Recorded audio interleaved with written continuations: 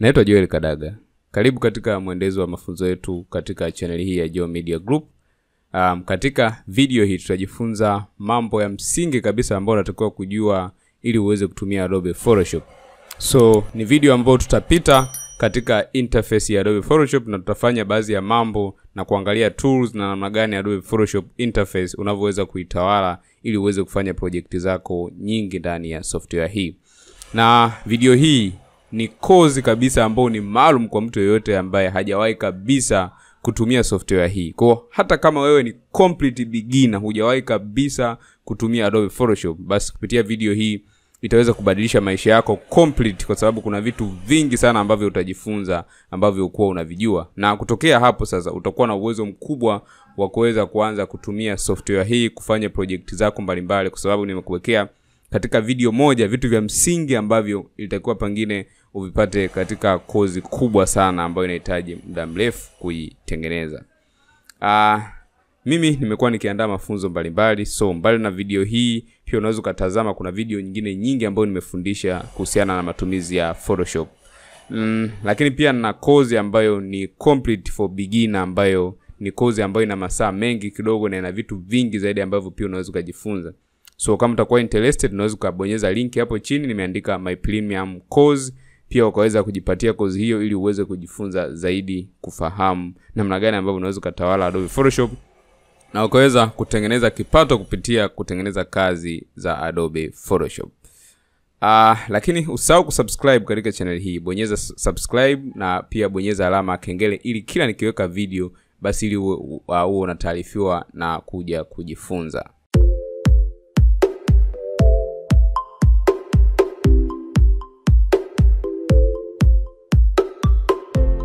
So unapofungua Adobe Photoshop yako itafunguka, uh, itawaka kama hivi unavyoona, na mwisho wa siku utaweza kupata kitu kama hiki.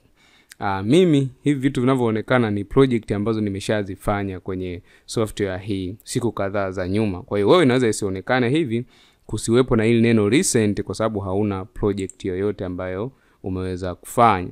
So kitu cha kwanza ambacho uh, inabidi tukizingatie uh, ni kuja kwenye file au tunakuja uh, tunaweza tukaja hapa kwenye create new. Tu create new hapa uh, itatupa option ya vipimo mbalimbali ambavyo tunavifanya. So hapa inaonyesha ni recent, ni project ambazo nilikuwa nimeshazifanya nyuma. Hapa ni saved, ni zile project ambazo nimesave. Hapa ni photo, labda kama kuna vipimo vya picha ambavyo nataka. Kwa kiufupi, hapa nafanya setting ya vile vitu ambavyo navifanya ndani ya software hii. Hapa ni aina ya uh, kazi ambazo nahitaji kuprint. Kwa hapa imeniwekea baadhi ya vipimo ili mimi nisihangaike. Kwa mfano unaweza kuona kuna leta kuna A5, A3, B5, C4 hivyo. Lakini kuna art and illustration, ukitaka kuchora, kupaint, kufanya nini unatumia hapo. Hapa ukitaka kufanya web designing kama nilivyosema mwanzo kwamba uh, mwanzo kwamba Adobe Photoshop inaweza kutumika na watu wa web designing kuandaa drafti na vitu kama hivyo. Lakini pia hapa imeniandalia baadhi ya vipimo vya mobile kama nataka kudesign simu au mockup yoyote ambayo inahusiana na simu. So naweza nikaja hapa nikachagua template moja hapo nikaanza kufanyia kazi. Lakini pia hapa kuna film and video hivyo. Lakini huku upande wa kulia kuna uh, preset detail. Kwa maana hapa naweza kureset au ku rename jina la faili nataka liweje. Kwa unaweza nikaandika hapo labda uh, project 1 labda exercise 1. So hapa width ni vipimo. Width kwa mfano hapa naamua kuweka 1920 kwa 1080, lakini pia huku naamua kuweka pixel. Yeah, tutaendelea kufahamu pixel na nini ni vitu gani, lakini uh, bila shaka utaweza kufahamu. Hapa orientation na je, nataka ya kusimama au nataka ya kulala. So unaweza ukaamua iwe landscape au portrait. Lakini hapa uh, unaweza ukatengeneza artboard. Uh, tutajua artboard ni nini. So ngoja tuendelee kwenye resolution, unaweza ukaweka sabini na mbili. Hivi vitu vingine tutazungumza zaidi kadri tunavyoendelea. So utakuja create. So utakapoifungua Adobe Photoshop itaonekana kama unavyoiona hapa e, kama ambavyo unaiona hapa. So hapa kuna vitu vingi sana ambavyo unaviona. Anyway, visikuchanganye. Hivi ni vitu tu ambavyo vinaeleweka na tutaweza kuvielewa kwa uzuri kabisa. So uh, naweza nikasema kwamba uh, software hii imegawanyika katika sehemu kubwa tatu ambazo tutadili nazo. Sehemu ya kwanza ni hii sehemu ya juu huku ambayo inaitwa command menu. Uh, hii ni sehemu ya juu ambayo inaitwa command menu huku. Kuna menu na command tofauti tofauti ambazo utakuwa ukiziapply wakati unatekeleza au unafanya uh, project zako ndani ya Adobe Photoshop. Lakini kuna hiki kipengele hapa hiki ni kipengele cha tools. Tools mbalimbali ukitaka kupaint kuchola kufanya selection ku hivyo kila kitu paint kuweka rangi kufanya uh, seko kuzoom out kuzoom in hand tool na kila kitu utakipata kwenye hizi tools.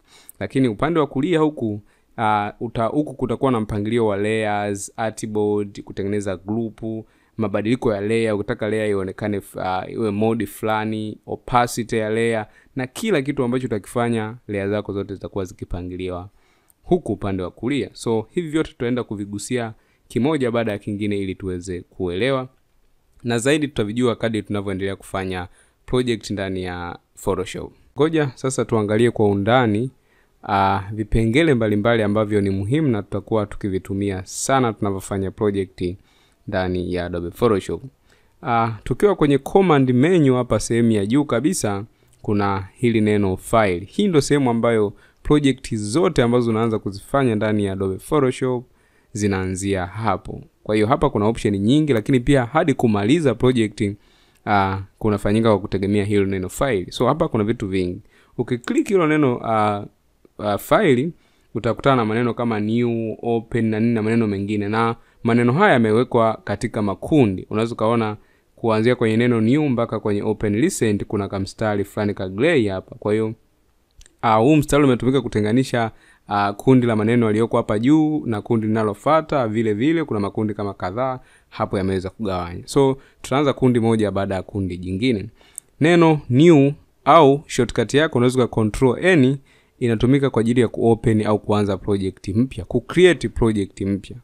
Mm, kwa hiyo ukiklik hapo itakuruhusu wewe kuseti vipimo kama document ambavyo tumefanya katika video iliyopita. Useti vipimo size kila kitu resolution chague color mode kisha uweze kuanzisha project mpya.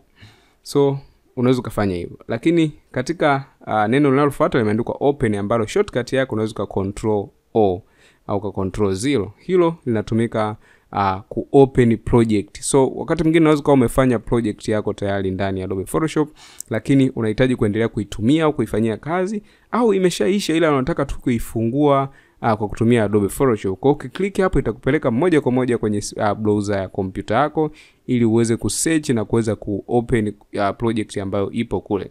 Na wakati mwingine pia unaweza ukatumia kuopen file lolote kama ni picha au logo au layer yoyote ile ambayo iko kwenye kompyuta yako unatumia neno open. Lakini kitu kingine hapa ni open in bridge. Open in bridge. Inatumika kwa wale ambao wanatumia zaidi internet au wanahifadhi files katika uh, system nyingine au kwenye internet ambayo itakuruhusu wewe kulink kutoka kule kwenye internet kuleta moja kwa moja kwenye uh, photoshop. Ad, uh, program zote za adobe zina hiyo system ambayo kama unatumia internet au na access ya internet unaweza kulilinki au kuchukua uh, files ambazo ziko katika program fulani au umezihifadhi na kuleta kwenye adobe uh, photoshop. Lakini pia kuna open as eh, pia unaweza uka open file zilizoko katika mfumo tofauti tofauti. Unaweza uka open file zilizoko katika illustrator png jpeg uh, na aina nyingine za files ambazo ziko kwenye kompyuta yako. Uh, lakini pia unaweza ukai open as smart object. Tutajifunza zaidi mbele kujua smart object ni nini. Lakini it's very interesting. Lakini pia hapa kuna open recent. Recent ni project ambazo wewe umekwisha kuzifanya ndani ya kompyuta yako. Kwao ukitaka kuziopen hizi uh, unaweza kuchagua ni uh, project gani ambayo unataka kuopen ya kuifanyia kazi wakati huo. So ziko nyingi hapa zinaonekana uh, ziko za kutosha kama kumi na tisa. So unaweza ukaweka uh, nyingi kama unavyoweza lakini una uwezo wa kuclear ukaamua kufuta. Lakini uh, unaweza usifute pia kwa sababu inaweza ikatokea project fulani umeisave jina ambalo ulikumbuki. So njia rahisi ya kuweza kuitafuta kwa haraka ni kuja kwenye hii sehemu ya recent uweze kuiopen na kuifanyia kazi. So ikiwa uta clear list itakupa changamoto baadaye kuja kuipata. So tukimaliza hicho kipengele cha kwanza tunaingia katika kundi la pili ambalo ni hili hapa. Kundi la pili lina maneno close au unaweza uka control w au ka command w kwa watu wanaotumia mac. So close ni unafunga program close all kwa maana kama kulikuwa na project nyingi zimefunguliwa kwenye panel au kwenye artboard au canvas ya adobe photoshop unaweza ukazifunga zote kwa pamoja. Lakini unaweza uka close others ukafunga zingine eh, unaweza uka close other and go to bridge kama nilivyosema mwanzo bridge ni nini. Pia unaweza ukasave eh, ukasave project yako unaweza ukasave as. Ku save as ni ku save project katika uh, format tofauti tofauti. Unaweza ukasave kama psd ukasave kama jpeg ukasave kama uh, png na kadhalika. So hiyo ni choice. Lakini unaweza ukasave as copy. In case ume, ume edit project yako imefika mahali ambapo unataka kubadilisha mtindo um, fulani wa editing. Lakini una wasiwasi kwamba hii ikipotea naweza nikaikosa au ukapata changamoto ya kuja kuipata. Kwao una save as copy kwa maana ya kwamba hilo unaoendelea kuifanyia mabadiliko.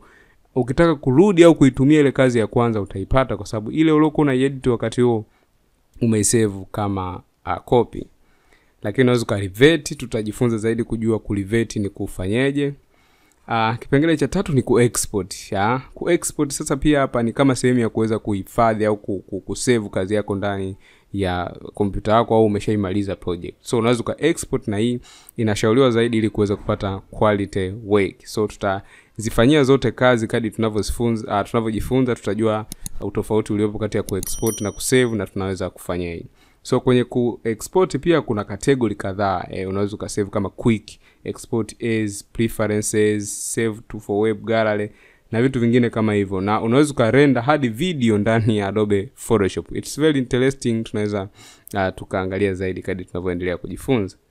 Lakini pia unaweza ukagenerate unaweza ukashare files unaweza ukainvite watu wengine ku uh, fanya kazi kama project team unaweza ukashare on behance uh, behance ni mtandao ambao unatumika au ni website ambayo inatumika kuweza kucreate portfolio. Kama designer ni muhimu kuwa na portfolio. Tutazungumza zaidi hayo mambo kadri tunavyoendelea kujifunza masuala haya ya graphics design. Lakini pia unaweza uka search adobe stock eh, unaweza ukaenda kwenye adobe stock ukasearch kitu chochote ambacho unakitaka unaweza uka place embedded unaweza uka place linked hayo yote tutajifunza zaidi kadi tutakavyoendelea kutumia adobe photoshop eh. unaweza uka package faili zako baada ya kumaliza kufanya uh, editing lakini unaweza uka automate eh, unaweza ukafanya automation ya adobe iweze kufanya matukio fulani fulani kwa kukumbuka tu tukio moja na kurahisisha zaidi wewe kazi tutajifunza zaidi unaweza uka script unaweza uka input eh. sasa hapo unaweza uka input a video frames notes na hizo faili zingine ambazo zimeandikwa hapa ya kwao unaweza ukaangalia pia file information ambalo umelifungua kwa wakati huo lakini kuna shortcut unaweza uka alt shift kwa control na i pia. Lakini zaidi unaweza ka print moja kwa moja kutoka kwenye adobe photoshop inakuruhusu wewe kuweza kuprint document yako na kuweza kuitoa kama hard copy eh? unaweza ka print one copy unaweza pia uka exit au ukatoka kwenye huu mfumo wa faili na mwisho wa siku ikawa imekurahisishia zaidi basi tuangalie vipengele vingine hivi vya command menu kwa haraka kisha tutaanza kuendelea kwenye uh, vipengele vingine. Tukiwa kwenye kipengele cha edit hapa pia panakupa option tofauti tofauti ambazo utakuwa ukizifanya. So hapa unaweza wa kuundo undo inamaanisha unarudisha nyuma matukio ambayo yalikuwa yamefanyika. Unaweza ukaridu kupeleka nyuma tukio ambalo lilikuwa limefanyika. Eh? ana vitu vingine vingi unaweza ukakati ukakopi ukapesti ukapesti special kwa maana ukafuta na vitu vingine vingi ambavyo tutakuwa tukicheza navyo ndani ya software hii ya adobe photoshop. Kwa hiyo hivi vyote tutaendelea kuvifahamu kadi tunavyofanya project. Lakini pia kuna layer unaweza ukacreate new layer unaweza ukaifanyia layer vitu tofauti tofauti ambayo uh, unaifanyia kazi ndani ya software hii. Lakini pia unaweza uka, ukaja uh, kwenye kipengele cha type mm. kwenye type pia kuna panel na kuna vitu vingine vingine tofauti tofauti ambavyo tutakuwa tukivifanyia kazi. Lakini pia unaweza ukaselect mbali na kwamba nimesema huku kuna tools mbalimbali mbali, lakini hizi tools zinaweza kuzisubstitute tool hizi. Kwa unaweza ukadeselect ukaselect uh, ukatumia color range na vitu vingine kama hivyo ambavyo tutaendelea kuvitumia.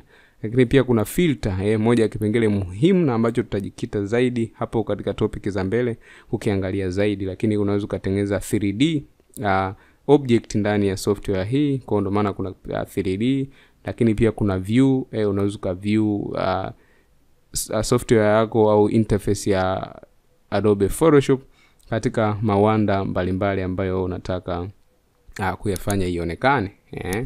lakini pia kuna windows huku unaweza ku enable au ku disable layers kuweza kuonekana au kuto kuonekana unaweza ukatengeneza workspace unayotaka labda naingia kwenye workspace ya 3d ya utaifanya hivyo eh, lakini pia kwenye window hapa hapa pia pana option nyingi unaweza ukasema naenda kwenye workspace ya motion. So itakuwa ikibadilika kulingana na mahitaji yako lakini unaweza ukaset essential default ili iweze kuonekana kama inavyoonekana kwangu. Lakini pia huku unaweza ukasema character ziweze kuonekana.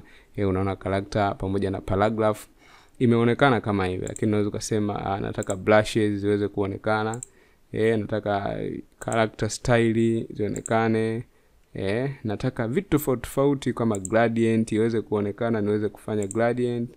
Eh, nataka action nataka brush settings color eh, color ziweze kuonekana na vitu vingine kama hivi.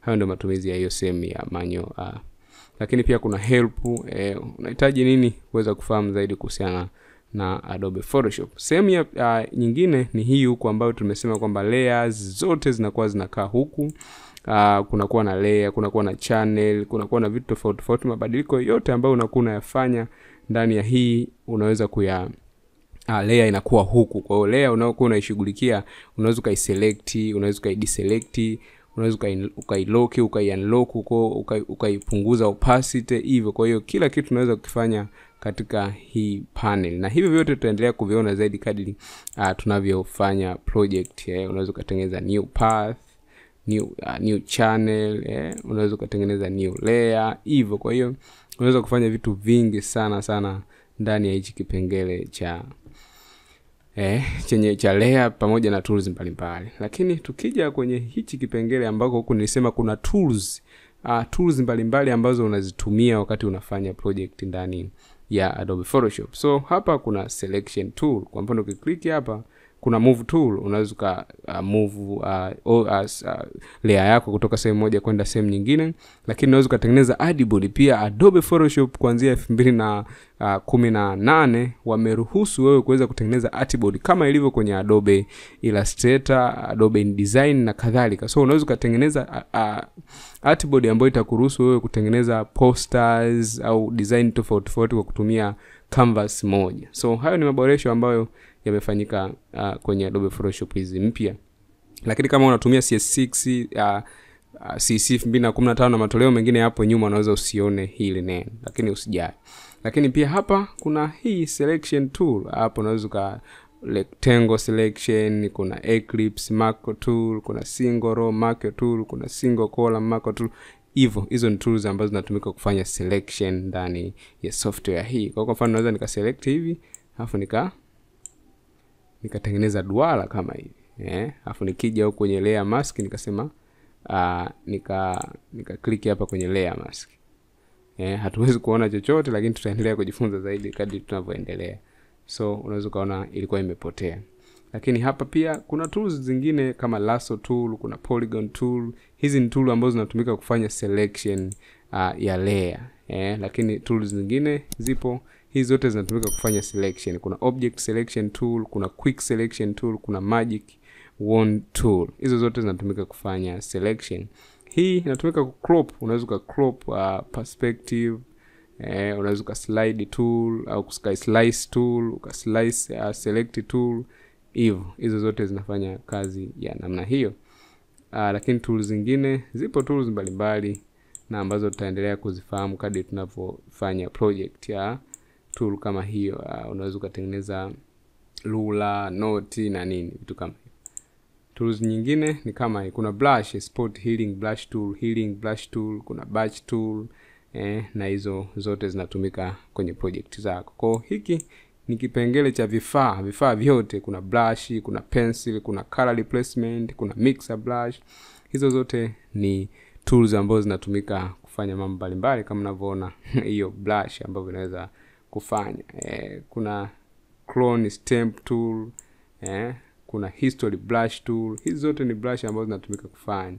Kuna eraser tool kuna background eraser tool. Hizo zote tuta, tutafahamu namna gani zinavyoweza kufanya kazi. Mm. lakini uh, kuna pen tool. Kama ilivyo katika software zingine kama adobe illustrator na nini unaweza kuzitumia hizi pen tool kutengeneza shapes mbalimbali mbali, na layers uh, na ukazifanyia kazi ndani ya software hii ya Adobe Photoshop. Lakini pia kuna text tool ambazo unaweza ukatype either vertical, horizontal, uh, ukatengeneza duara hivyo unaweza ukatype kadri wewe unavyoweza na unavyohitaji kulingana na project. Lakini pia uh, unaweza ukaenda mbali zaidi, kuna path select, uh, selection tool, direct selection tool pia ipo kama ilivyo kwenye Adobe Illustrator. So kuna vitu vimeongezwa ndani ya uh, Adobe Photoshop CC 2021. So kama kompyuta yako itakuwa na uwezo wa kuinstall, basi unaweza kuinstall software hii ili tuweze kwenda pamoja, na ni rahisi kuitumia, inafunguka haraka, imerahisishwa kwa ujumla. Lakini pia kuna tools zingine kama hizi rectangle, eclipse la triangle. Kwa unaweza ukachora vitu tofauti tofauti kwa kutumia tool hii hapa. Kwa kwa mfano unaweza ukasema chore uh, kama hivi eh, unaweza ukasema labda nichore duara hivyo eh. Kwa unaweza ukafanya vitu vingi sana ndani ya uh, hii tools ambayo ni ya uh, shape tool. Ya lakini pia kuna mkono hand tool eh, unaweza ukatumia mkono huu kudragi kusogeza layer au canvas yako unaweza ukatumia kuroteti canvas yako iende hivi eh, unaweza ukaona. Lakini pia kuna zoom unaweza ukazoom hivo. Eh, unaweza ukazoom ukafiti to screen. Kwa hiyo ni wewe tunavyotaka lakini pia hapa kuna option kuna edit toolbar. Hapa pia kuna vitu vingi sana ambavyo unaweza ukavifanyia kazi.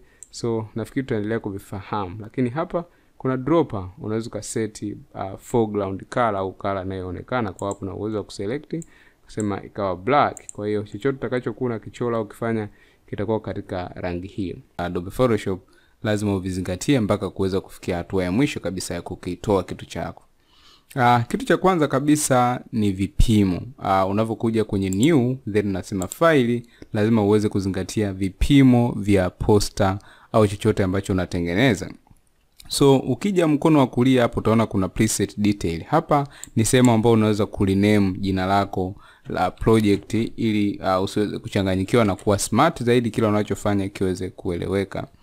Eh, kwa hiyo unaweza ukaliname poster design lakini ukahakikisha kwamba vipimo viko sawa kulingana na matumizi unayotaka. Kama unataka kwa ajili ya Instagram unaweza ukatengeneza 1080 kwa maana ya uh, 1080 kwa 1080 au post yoyote ambayo iko square unaweza ukaposti katika Instagram feed. Lakini kama ni Insta story lazima iwe 1920 kwa 1080 hivyo. So resolution pia lazima uzingatie, at least unaweza ukaweka 150 isiwe kubwa sana hivyo, lakini hivyo ndio vitu vya kuzingatia. Lakini pia lazima uweze kujiuliza, je, hichi ninachokitengeneza ni kwa ajili ya kuposti mtandaoni au ni kwa ajili ya kuprint? So kama ni kwa ajili ya printing, hakikisha umeweka CMYK color mode, lakini kama ni kwa ajili ya uh, social media weka rbg color mode. Uh, background content ni chaguo lako, unaweza ukaweka black, ukaweka uh, white, lakini wengi wanaweka background color ambao mara nyingi inakuwa white. Uh, lakini pia vitu vingine utaacha kama vilivyo then utasema create. So hapo ndo unaanza project yako mpya. Kitu cha pili, ili uweze kuachieve na kupata project kama hii mwishoni, lazima wauzingatie matumizi ya rula. Rula inaweza kusaidia wewe kukuguide na kitu ambacho kitakufanya ujue uh, maeneo gani text zako, logo, maandishi, picha vinaweza kuishia au havita katika ukiviplace wakati unafanya design zako. So unaweza ukaona namna gani ambavyo uh, nimetengeneza. So unatengeneza rula kama hivi uh, kwa kuzidragi uh, na kuziweka rula ikiwa ionekane kama hivi, uta control R ili uweze kuona rula na utaiplace kama hivi. So tukirudi kwenye project yetu uh, kitu kingine zaidi ambacho ni muhimu kuzingatia ni mpangilio wa layer. Layer zako nitakuwa ziwe zimepangilia vizuri unapofanya project na mpaka unamaliza, nitakuwa uwe na tendency ya kuweza kurename na kuzitengeneza layer katika mpangilio mzuri. Unaweza ukaona layer zangu mi nimeweza kuzigroup text zote, kwao nikizima hii text zote ambazo nimezitumia humu zinaweza kupotea, nikiwasha zinaonekana.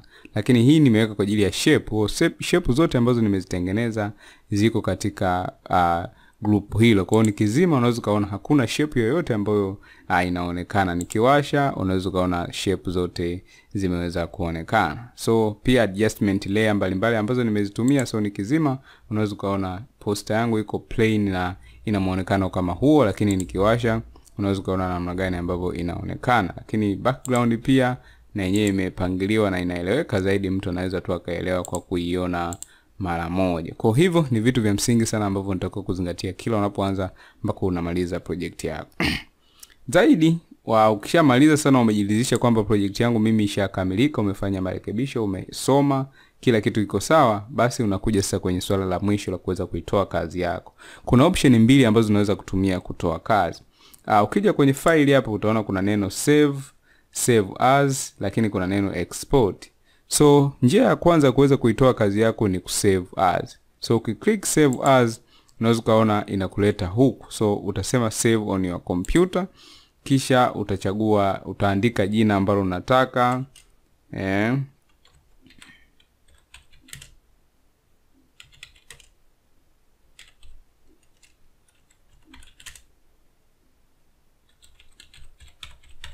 So ili uwe graphics designer ambao uko systematic lazima uzingatie kurename pia vitu vyako. So ukimaliza utakuja kwenye save as type. Utakuja kuchagua hapa ni aina gani ya faili ambalo unataka.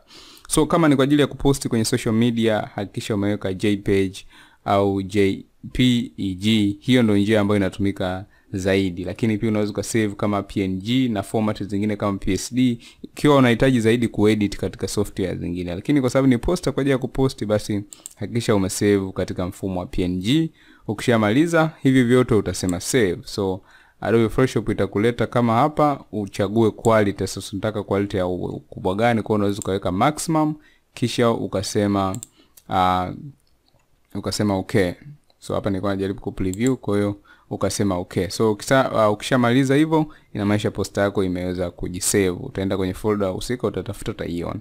Lakini njia ya pili ya kusave uh, ni kuja kwenye faili alafu unasema export. Hii ni njia ambayo uh, ni inashauriwa na inaweza ukatoa faili ambazo ziko uh, na high quality ukilinganisha na uh, save ya kawaida. So unachotakiwa kuja unasema export. So utakuja hapo utasema export as export as itafunguka dialog au window kama hii hapa ambayo itaweza kupreview kazi ambayo unahitaji kuiexport. Uh, mkono wako wa kushoto kutakuwa na vitu kama size na suffix utaiacha hivyo one lakini hapa kuna selection. So kama posta ziko nyingi kama umefanya kwenye artboard moja inamaanisha zitaonekana hapa zote. So wewe utaselect ni ipi unataka kuitoa au kuiexport. So kwa sababu hapo iko moja ukiselect tu moja hata hii inakuwa checked. So hapo nakuwa umemaliza. Mkono wako wa kulia pia mkono wako wa kulia pia kuna file setting mbalimbali mbali, kama format so kama ni post ya mtandaoni unaweza ukaweka jp lakini kama ni animation unaweza ukaweka gif eh, lakini kama pia ulikuwa umetengeneza kitu kama uh, logo au una export kitu kama logo basi unaweka png so hii ni post utaweka jpeg hizi uh, settings zote utahakikisha ziko 1080 kwa 1080 hivi vitu vingine utaacha kama vilivyo kisha uta bila shaka umeweza kutoka na kitu katika video ya siku ya leo na nashukuru sana kwa kuitazama video hii mpaka mwisho. Naamini umeweza kujifunza. Nimekuwekea link katika description hapo kama unahitaji kubrush zaidi ujuzi na kuongeza vitu vingi katika karia yako kwenye masuala ya photoshop unaweza ukabonyeza hapo linki kuna kozi yangu ya Adobe Photoshop ambayo nimefundisha kuanzia mwanzo mpaka mwisho na vitu ni vingi na video zaidi ya hamsini na ni masaa mengi ambayo unaweza ukaspendi ukajifunza vitu vingi sana Uh, lakini pia ninazo kozi zingine unaweza ukajifunza matumizi ya Adobe Premiere Pro na kozi zingine utajaribu kucheki kwenye description hapo, lakini unaweza ukacheki na mimi kupitia email kwa ushauri kwa lolote personal, lakini pia acha comment yako kama video ya leo imeweza kuwa na msaada kwa namna moja ama nyingine na imekuweza kusaidia wewe kujifunza kitu chochote. Naitwa Joel Kadaga, see you next time.